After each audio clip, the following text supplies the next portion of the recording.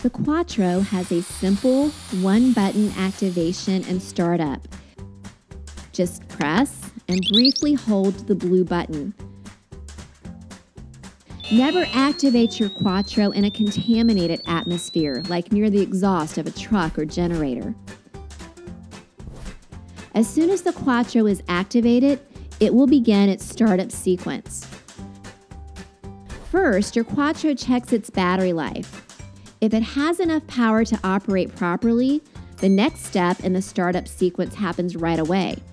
If it doesn't have enough power, it will either warn you to change the batteries or fail the battery test and automatically shut down.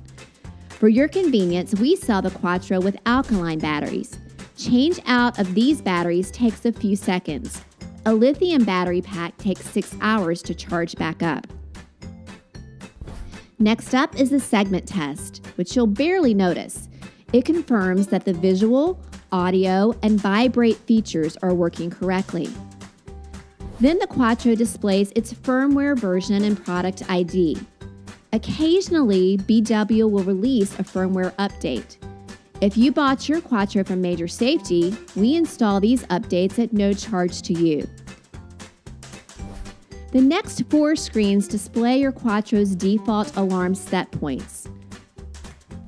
The chart shows what they are for H2S, CO, O2, and LEL, which are your combustible gases like methane. These are all dictated by OSHA.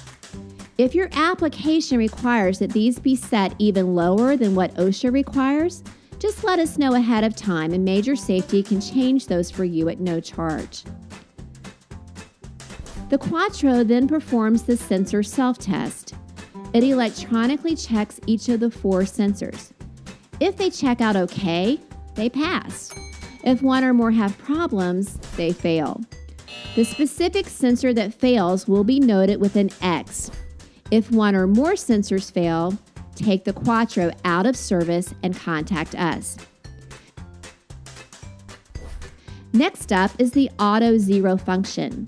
The Quattro tries to electronically reset the four sensors to their default display readings.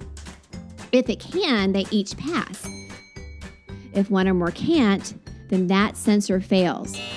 If a sensor fails, take your Quattro out of service and contact us.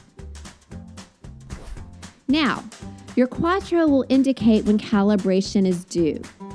If one or all of the sensors are not past due for calibration, the calibration check passes.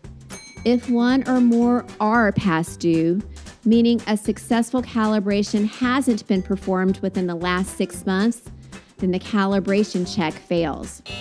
The display will indicate this with an X. If your Quattro needs calibration, you can calibrate it yourself if you have a calibration kit, or just send it back to Major Safety. We can turn it around for you in one to two business days. Finally, your Quattro will give a summary of all the self-test. What you want to see here are all check marks. If any X marks are present, take your Quattro out of service and contact us for help. If all has gone well during startup, your Quattro will now be in normal operation mode. From all the folks at Major Safety, thank you for making us your go to resource for all things confined space. Be sure to tell others about us. Visit our website, read our blog, which is loaded with helpful tips and info, and check out our other helpful videos.